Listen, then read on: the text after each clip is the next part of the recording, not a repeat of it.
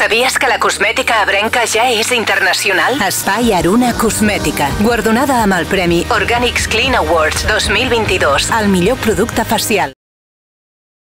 La portaveu de Junts per Roquetes i la Ravaleta, Lídia Saura, ha destacat la bona relació amb el govern municipal d'Esquerra durant els primers mesos del mandat. Segons Saura, els republicans han atès algunes de les demandes del seu grup, com ara la creació de refugis climàtics en alguns espais municipals, un aspecte que també s'ha inclòs en el pressupost de l'Ajuntament per al 2024.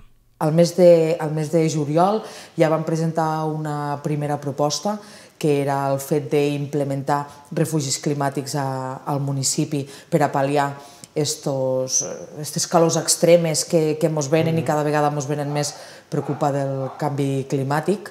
Eh, de seguida va haver una resposta positiva i també ho han vist reflexats al, al pressupost del, del 2024.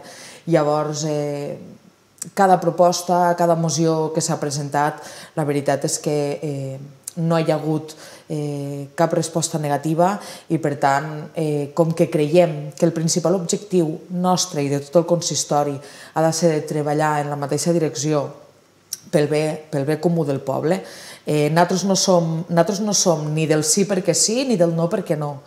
De fet, Junts va ser l'únic grup de l'oposició que va votar a favor del nou pressupost de l'Ajuntament. S'haurà explicat que el govern d'Ivan Garcia ha tingut en compte altes aportacions de Junts. Una de les més destacades és la modificació de l'ordenança de convivència ciutadana per acabar amb els excrements de les mascotes al carrer. La gent hauria d'entendre que això és una, això és una qüestió de convivència i d'higiene per al municipi. La ciutat ha d'estar neta i no pots anar pels carrers i per alguns camins i realment pareix un camp de mines. O sigui, has d'anar pendent d'on xafes perquè mm, te cau el premi segur.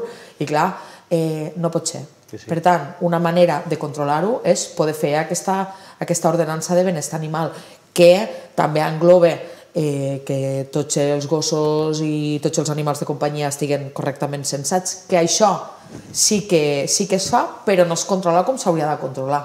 D'altra banda, Junts també ha demanat la redacció d'un catàleg de cases desocupades i en mal estat, així com un cens dels habitatges que tenen un problema d'ocupació. Tenim tot un casc antic, que hi ha moltes cases o bé que estan desocupades o bé que estan ocupades il·legalment.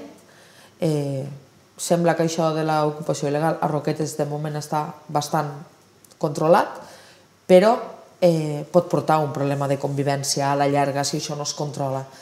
D'altra banda, Saura ha valorat molt positivament la construcció de la llar d'infants municipal, tot i que este és un projecte que Junts no portava al seu programa electoral. La portaveu ha celebrat que s'hagi creat una comissió de seguiment de les obres, ja que creu que serà una mica just que la llar d'infants pugui estar a punt per al setembre. Perquè és començar al març per acabar al setembre i al setembre començar l'activitat educativa. I llavors, eh, bueno, sabem que quan hi ha construccions i sabem que quan hi ha obres d'aquest tamany poden hi haure imprevistos i poden hi haure algun petit problema, només que es retarda una mica, el que tenim temor és de que al setembre no poguéssim començar aquesta activitat educativa. I llavors, bueno, pues estarem pendents de que tot el temps que se ha anat donant pues, se complisque, eh, que es complisquen eh, les expectatives i també una altra cosa, i és que el que no volem és que es facin les coses mm, ràpid i malament.